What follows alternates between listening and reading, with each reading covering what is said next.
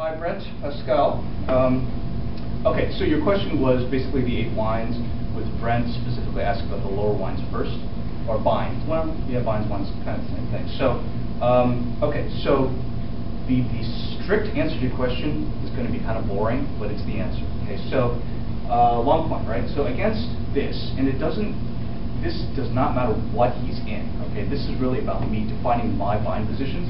So from here, I can be either in ox or, uh, sorry, plow or ox, right?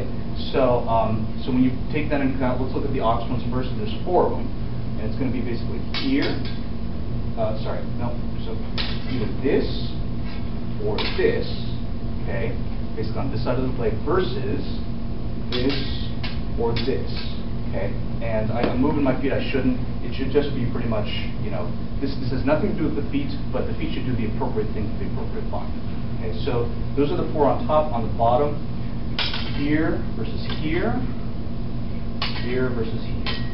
Okay, so those are the eight. All right, so great. So you know what the, the eight ones are? Who cares, right? I mean, there are plenty of times when we can use any of these things and actually it'll it'll be the wrong thing. It'll actually get you into trouble. So really the, the next add-on question is how do you use them, and then that gets that gets into winding and binding, and there's no way I'm going to talk about all this stuff in three minutes. So uh, what I'd like to do is give two case studies, um, places where you know this kind of stuff is useful, uh, and you can see like how these transitions happen. So for instance, you know we, we do this one a lot, where we're trying to get that face, and one thing he does actually is to actually wind up counter with the same wind, and then he's actually going to wind and try and get me over on this side right? So he can do this interior kind of business. So, so a lot of really neat, funky stuff is doing these transitions from one guard to another, one wind to the other, in a very smooth and subtle way. So, for instance, as I do this, he does this, tries to get it.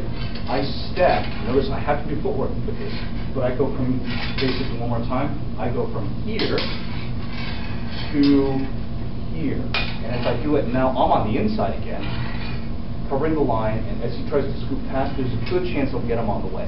Okay, so that's that's one example. Uh, another example, um, back from the same position.